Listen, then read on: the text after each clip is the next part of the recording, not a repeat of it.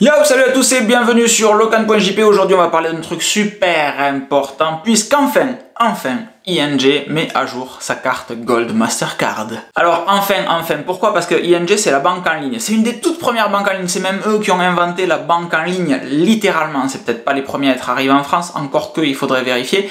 Mais c'est littéralement ING qui a inventé la banque en ligne avec ING Direct. C'est les inventeurs. C'est eux qui ont le brevet, presque limite. Et pour une banque qui a inventé la banque en ligne, la simplicité, les opérations sur Internet, etc., depuis quelque temps, ils se font un petit peu démonter les gencives par les petits nouveaux qui arrivent, comme N26 par exemple, ou plus largement Boursorama et le Fortuneo, celle avec le logo vert, etc.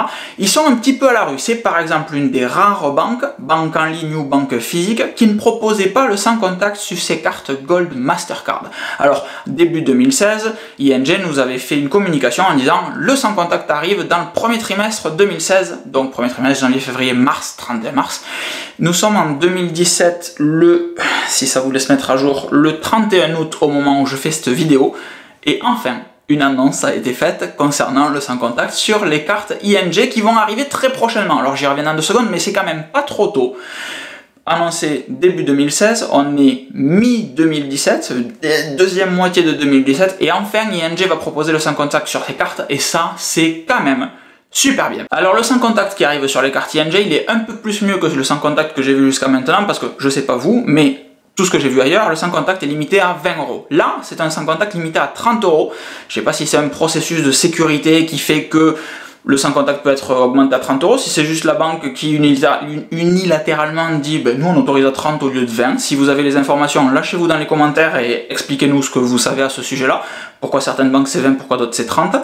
Euh, et ça c'est super bien, donc du coup le sans contact arrive enfin sur les cartes. Alors, on va le dire de suite, il n'y a pas besoin de faire une demande de remplacement de votre carte Gold Mastercard chez ING, carte qui est gratuite. Il n'y a pas besoin de demander un remplacement. Toutes les cartes vont être remplacées au fil de la fin de l'année, jusqu'au 31 décembre. C'est ce qui est indiqué dans le mail que tous les clients ING ont reçu. C'est ce qui est indiqué sur le site internet que je vais vous lier dans cet article. Les cartes seront automatiquement renouvelées d'ici à la fin de l'année. Donc il y a quand même à penser qu'il y a un intérêt à changer les cartes pour une question de sécurité, peut-être? Encore une fois, j'en sais rien du tout, j'ai juste l'idée comme ça, et je vous dis que toutes les cartes vont être remplacées. Se pose la traditionnelle question des gros relous débiles qui disent « Ah ouais, mais le sans contact, moi j'ai pas envie de l'avoir sur ma carte, etc. » Et donc là, est-ce qu'on pourra désactiver l'option de paiement sans contact depuis l'interface abonnée? Ça serait pas mal.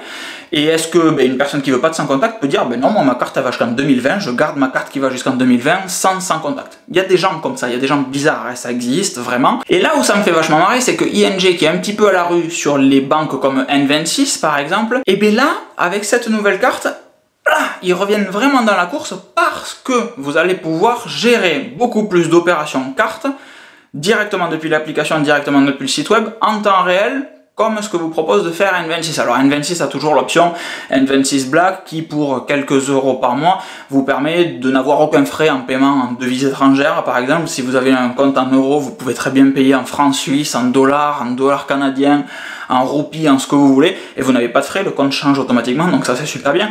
ING aura toujours des frais euh, au moment de paiement en devises étrangères, mais sur la partie réel et gestion de la carte depuis l'interface abonnée, là il rattrape quand même pas mal N26 et c'est bien, enfin, c'est pas trop tôt. Donc évidemment, j'ai la carte, le, petit truc ouvert là-dessus, vous pouvez faire une opposition très facilement depuis l'interface web, vous avez enfin les transactions qui s'affichent en temps réel, c'est-à-dire que vous payez directement sur votre espace abonné, vous voyez la transaction qui est en attente, alors que c'était pas le cas jusqu'à maintenant, il fallait attendre plusieurs jours, etc. pour que la transaction soit affichée et parce qu'elle est effectivement débitée. Là, en prévisionnel, je suppose, ou peut-être en temps réel, elle est effectivement affichée affiché, débité ou pas, je sais pas, mais au moins affiché, et vous savez en temps réel où vous en êtes de votre consommation et de votre compte bancaire. Ça, c'est super bien en 2017, avoir un compte en temps réel, c'est quand même le minimum. Code personnalisable, ça c'est la même chose que chez N26, je sais pas si Boursorama et Fortunéo le proposent, euh, vous pouvez changer votre code de carte bancaire directement depuis l'application. Alors évidemment, comme en France, les, les TPE, les terminaux de paiement électronique, ne consultent pas la banque au moment où vous faites un paiement. Si vous changez votre code, il faut nécessairement passer par un GAB, par un DAB, pardon, un distributeur automatique de billets pour mettre à jour le code. Parce que le principe, il est très simple. Le DAB, lui, contacte votre banque pour vérifier le code que vous venez de taper si c'est le bon ou pas. Et si c'est pas le bon, le DAB sait réécrire sur votre carte le bon code. Alors qu'un TPE, le terminal sur lequel vous payez chez le commerçant, lui ne contacte pas votre banque pour le mettre à jour. Il vérifie juste que ce soit le bon, si c'est le bon, tant mieux, si c'est pas le bon, ben code faux et il vous jette. Donc c'est pour ça qu'en France, quand on change le code sur une carte bancaire ou qu'on a une nouvelle carte bancaire, on vous dit allez retirer 20 euros au guichet à l'extérieur, c'est pour l'activer. Non, c'est pas pour l'activer, c'est juste pour que la banque écrive sur la carte le code qu'elle vient de vous communiquer. Le DAB, lui, écrit sur la carte le code. Donc quand vous tapez votre code, il vérifie, la banque dit c'est bon, hop, et il réécrit le code physiquement sur votre carte pour qu'il marche après sur les TPE. Bref, foncièrement, on s'en fout. Vous avez enfin la possibilité de mettre à jour les plafonds de votre carte directement depuis l'application. Si vous voulez acheter le nouvel iPhone qui arrive bientôt et que vos plafonds sont un petit peu bas ou que vous avez déjà éclaté vos plafonds, etc. Et bien hop, directement en un petit clic et immédiatement les plafonds de votre carte sont modifiés directement depuis l'application ou l'interface web, j'ose supposer. Et ça c'est bien parce que c'était pas le cas non plus et c'est un truc qui est possible chez N26 et Boursorama il me semble, Fortuneo peut-être également. Pour la suite c'est super simple et c'est ce qui est écrit encore une fois sur le lien, hein, j'invente rien, je vous fais juste la version vidéo de ce qu'il y a sur ce lien là. Euh, vous vérifiez votre adresse sur votre espace abonné ING, Vous envoie un mail et un SMS pour vous dire Hey, on a commencé à fabriquer votre carte, elle va être expédiée ou elle est expédiée.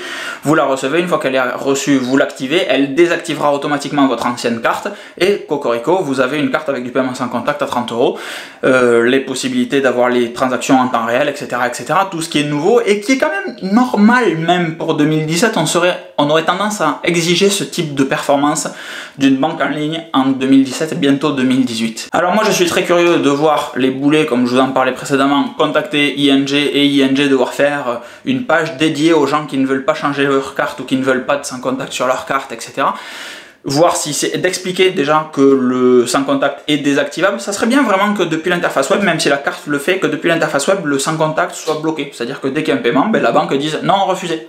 Ça, ça serait cool. Comme ça, ils font une seule carte physique, la même pour tout le monde, et depuis l'interface web, le client qui le veut pas le désactive, et c'est super simple pour tout le monde. Ça, ça serait vraiment, vraiment bien. Dans tous les cas, ING est donc la banque que j'ai depuis des années, depuis 2012 exactement, et j'en suis très très très content. Il manquait juste la carte avec le sans contact, c'était chiant que ça n'existe pas.